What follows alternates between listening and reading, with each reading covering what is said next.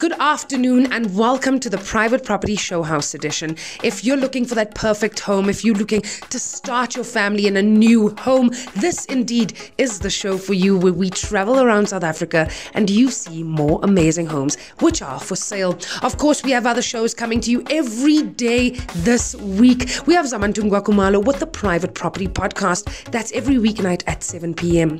And of course, if you're interested in farming and agriculture, well, we've got Mbali on the ones and twos every Tuesday and Thursday night at 8 p.m.